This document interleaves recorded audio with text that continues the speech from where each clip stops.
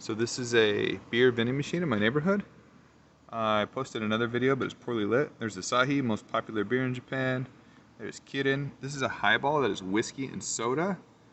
Here are cheaper versions of the big brands. Japanese tax beer by malt content. So if it's less malt, they make a cheaper beer. Still good. This is a Chuhai. This is Shochu, Japanese rice liquor and soda. And this is pure Japanese rice liquor, Shochu.